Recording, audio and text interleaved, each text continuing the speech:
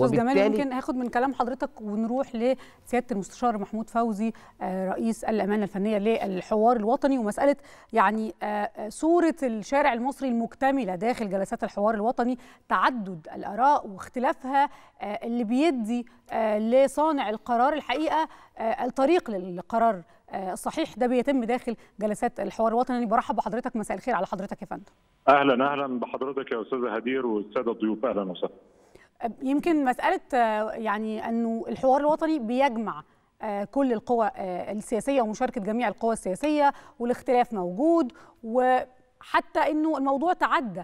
المشاكل المحلية إحنا شفنا النهاردة في البيان الصادر عن جلسة الرقم 23 اللي تمت يوم الأربع الحديث لشعب السودان الشقيق بتجنب الفتن والاهتمام بالبعد الدولي والإقليمي وإعلاء الأمن القومي. فاحنا بنتكلم في إنه الحوار ممتد لقضايا حتى ما هياش قضايا يعني تمس المواطن المصري من الدرجة الأولى أو الشارع المصري. الحوار الوطني هو حوار يمس المواطن المصري سواء هذا المساس كان بشكل مباشر أو بشكل غير مباشر.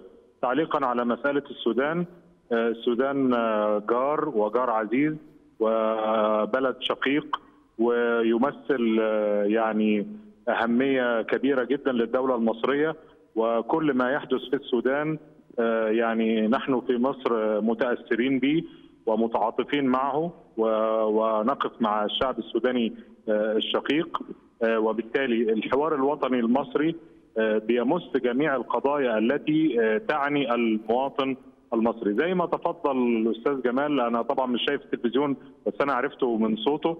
الحقيقة إحنا أمام مساء الفل يا سيادة المستشار. مساء النور أهلا بحضرتك يا جمال بيه ثلاث آه، محاور 19 لجنة 113 قضية.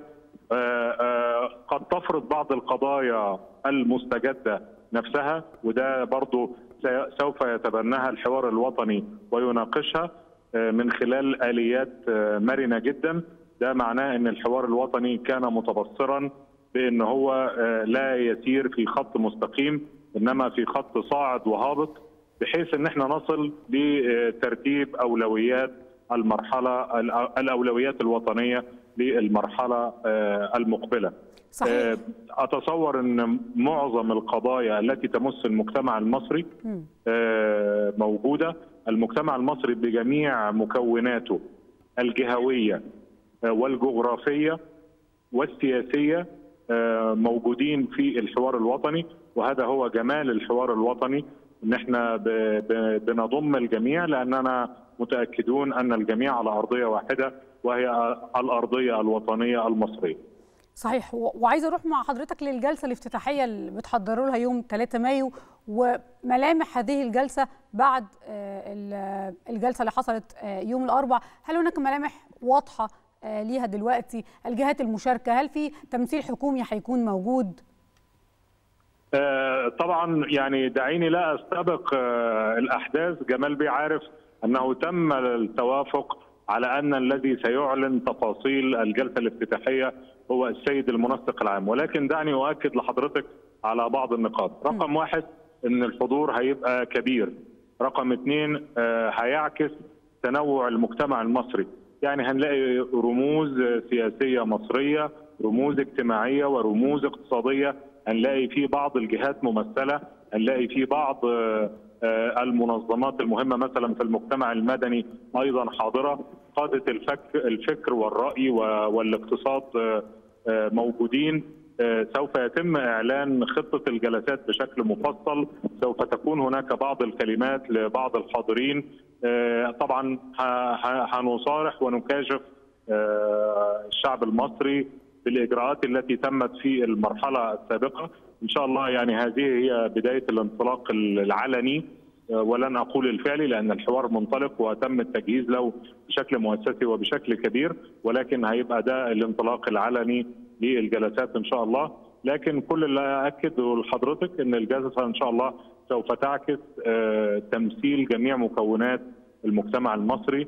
برموزها وشخوصها إن شاء الله.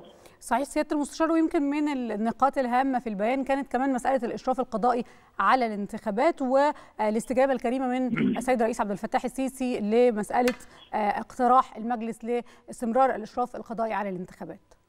الإشراف القضائي ضمانة أكيدة من ضمانات سلامة إجراءات الانتخابات بجميع أنواعها. الشعب المصري أصبح يألف الاشراف القضائي ويأمن ويطمئن إليه. الحقيقة إن كانت يعني لفتة طيبة من مجلس أمناء الحوار الوطني إن هو يثير هذه المسألة. وبالمناسبة هذه المسألة مدرجة على جدول القضايا بتاعة المحور السياسي منذ اليوم الأول. إحنا طرحنا فكرة. السيد الرئيس باستجابه كريمة وسريعة وجه بدراستها من الجهات المعنية. هيبقى ده إن شاء الله هو توجه مجلس الأمناء وجلسات الحوار الوطني كلما رأى قضية نافعة من القضايا سيحاول أن يبلورها في شكل مقترح إما يأخذ شكل تشريع أو يأخذ شكل سياسة حكومية أو قرار تنفيذي بحيث إن إحنا يعني الحوار صاعد وهابط وهو حوار تفاعلي. بمعنى إن إحنا يعني يعني هنطرح الفكرة وتتنفذ إزاي ده هيبقى يعني اختصاص الجهات المسؤولة. برضو خليني أؤكد برضو بوضوح لحضرتك أن الحوار الوطني هو يعني بيت وطني ومخزن للأفكار والرؤى ولن يحل نفسه محل أي جهة وليس له أي علاقة بأي قرارات. الحوار الوطني يصدر توصيات إنما الذي يصدر القرارات هي الجهات والأجهزة والمؤسسات المعنية. أنا بشكر حضرتك شكرا جزيلا سيادة المستشار محمود فوزي رئيس الأمانة الفنية للحوار الوطني على وجودك معنا النهارده في التاسعة.